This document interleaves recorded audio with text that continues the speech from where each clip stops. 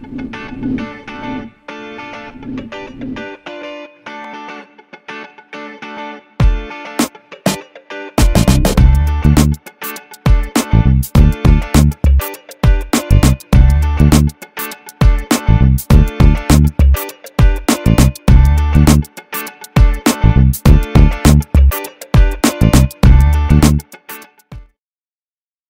Decyzja o budowie lub zakupie domu to decyzja na wiele lat.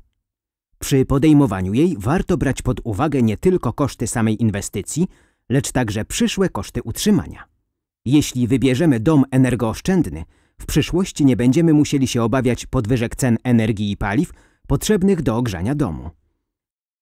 W typowym polskim domu aż 70% energii służy do jego ogrzania.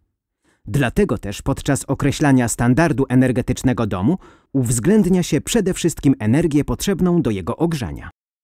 Przypomnijmy. W budynku standardowym, czyli wybudowanym według obecnie obowiązujących przepisów budowlanych, zużywamy rocznie na ogrzewanie 120 kWh na 1 m2.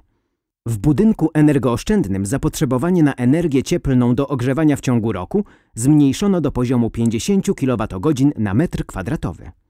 Budynek pasywny nie wymaga typowego systemu grzewczego, w związku z czym roczne zapotrzebowanie na energię cieplną do jego ogrzania wynosi jedynie 15 kWh na metr kwadratowy. Nie należy jednak zapominać o kosztach związanych ze sfinansowaniem budowy domu energooszczędnego lub pasywnego, które obecnie są wyższe od kosztów domu zbudowanego w technologii tradycyjnej.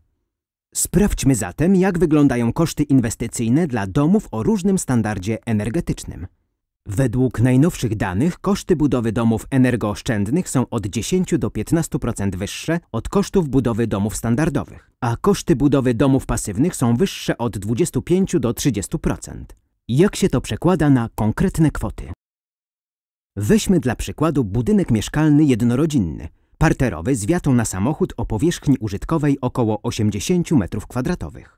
Budowa takiego domu w standardzie zgodnym z obecnymi przepisami będzie kosztowała 213 tysięcy złotych. Jeśli zdecydujemy się na budowę w standardzie energooszczędnym, zapłacimy 245 tysięcy złotych. Pasywna wersja tego budynku to 277 tysięcy złotych. Wyższe koszty wiążą się przede wszystkim z zakupem wciąż jeszcze w Polsce mało popularnych systemów wentylacji mechanicznej z odzyskiem ciepła, okien i drzwi o określonych parametrach specjalnych materiałów izolacyjnych, a w budynkach pasywnych także z osiągnięciem wymaganej szczelności.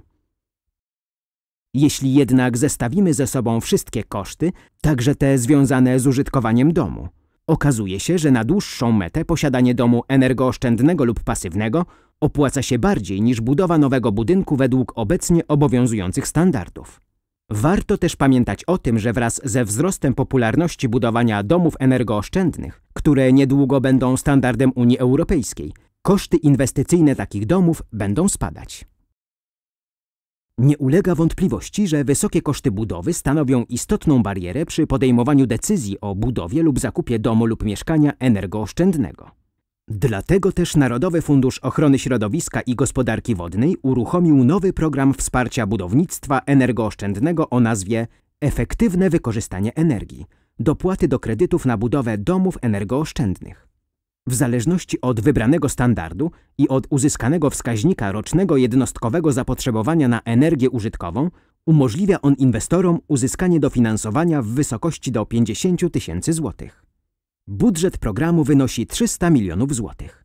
Środki pozwolą na realizację około 12 tysięcy domów jednorodzinnych i mieszkań w budynkach wielorodzinnych. Wdrożenie programu przewidziane jest na lata 2013-2018, a wydatkowanie środków z nim związanych do końca roku 2022.